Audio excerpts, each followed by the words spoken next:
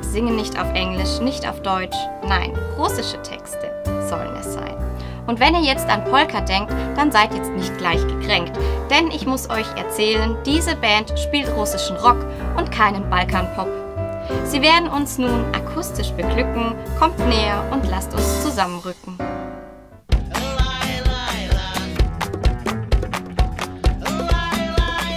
Химик он знает природу тепла Он физик, он знает этапы процессов Он доктор, он сведущ в причинах конца Он егерь людей, выводящий из леса Он лирик, не помнящий соли слезы Комик, не знающий вкуса улыбки Он циник в тени, совершенной звезды Сопривок снимает черные сливки Черные сливки Черные сливки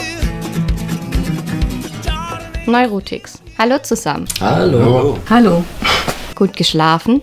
Oh. Веник Wie Zau? Beschreibt Tübingen in nur einem Wort. Bunt. Pittoresk. Verschieden, unterschiedlich Wie reagiert ihr, wenn man eure Musik als Balkanpop bezeichnet? Ja, schockiert mit Kopfschütteln und freudig angewidert. Börse Hat der Name Neurotix was mit Neurosen zu tun? Ja, das äh, ist natürlich ein Wortspiel, was auf Neurotics anspielt, aber eben Auf jeden Fall. Ja, das, das ist Dann bin ich unsere, froh. Ja, das ist unser Credo. Ja, also, das, wir sind ja nicht ganz normal. Klar. äh, statt Neurotics Neurotix, weil wir einen Russen in der Band haben. Naja, und es ist ein Wortspiel, wo einfach neue russische Ticks vereint. Ihr habt noch nie vor sitzendem Publikum gespielt. Was macht ihr, wenn sich Menschen bei eurer Musik trotzdem setzen würden? Die setzen sich nicht. Ah, du würdest wahrscheinlich dein Cello kaputt machen erstmal. Oh so. ja, klar, genau. die Erstmal zertrümmern.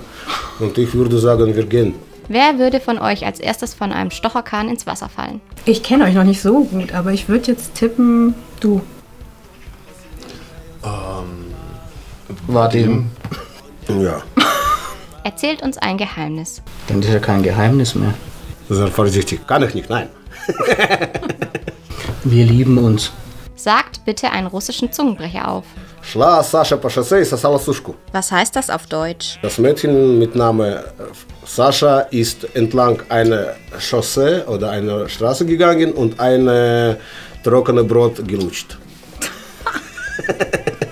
Was können wir beim Represent Tübingen von euch erwarten? Dass die Leute sich nicht hinsetzen. Ja, viel Spaß auf jeden Fall.